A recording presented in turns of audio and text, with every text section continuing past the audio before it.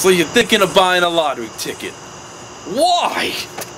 You know, you have far better chances of being eaten by the blob.